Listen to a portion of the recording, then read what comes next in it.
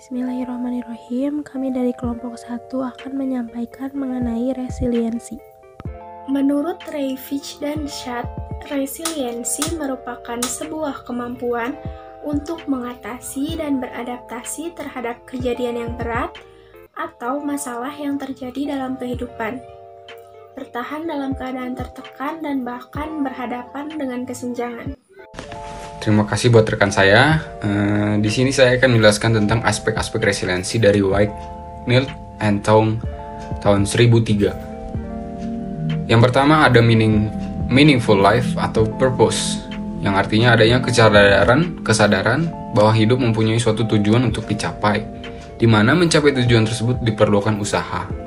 Dan yang kedua ada perseverance, siap bertahan dalam menghadapi kondisi atau situasi sulit yang dihadapi. Dan yang ketiga ada equanimity, yang artinya persepsi yang dimiliki individu yang berhubungan dengan pengalaman hidup. Individu mampu melihat sudut pandang dari kejadian yang pernah dialami sehingga akan fokus pada hal positif daripada hal negatif dari situasi sulit yang dihadapi. Selanjutnya akan dilanjutkan oleh rekan saya. Terima kasih. Poin keempat dalam aspek resiliensi ada self-reliance, yaitu keyakinan individu terhadap diri, kemampuan yang dimiliki, dan batasan diri. Yang kelima ada coming home to yourself atau existential aloneness, yaitu kesadaran bahwa individu memiliki kehidupan yang unik, mampu bertindak secara mandiri, belajar hidup tanpa bergantung pada orang lain dalam menghadapi apa pun. Selanjutnya ada riset yang pertama yaitu resiliensi pada ibu single parent. Dari hasil penelitian menunjukkan bahwa bentuk resiliensi ibu single parent dalam menghadapi permasalahan keluarga adalah mereka selalu bersyukur dan lebih mendekatkan diri kepada Tuhan Yang Maha Esa. Mereka juga percaya akan kuasanya sehingga mereka dapat uh, mengembangkan sikap optimisme, empati, dan meregulasi emosi. Riset selanjutnya mengenai resiliensi remaja stunting.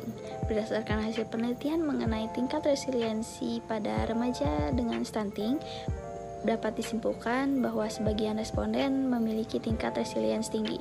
Individu resilience akan memiliki karakteristik perseverance, di mana individu akan terus berjuang untuk menjalani hidupnya dalam menghadapi situasi yang sulit. Oke baik, di sini kita masuk ke dalam tips and trick. Ada lima poin. Yang pertama, menentukan tujuan hidup. Yang kedua, melapangkan hati atas semua yang terjadi. Kemudian yang ketiga, membangun energi positif dan berhenti berpikir negatif. Kemudian yang keempat, merawat diri dengan baik. Dan yang kelima, yang terakhir, fokus uh, pada membangun diri agar hidup lebih berkualitas dan memiliki value. Sekian dari kelompok kami, semoga ilmu yang disampaikan dapat bermanfaat. Wassalamualaikum warahmatullahi wabarakatuh.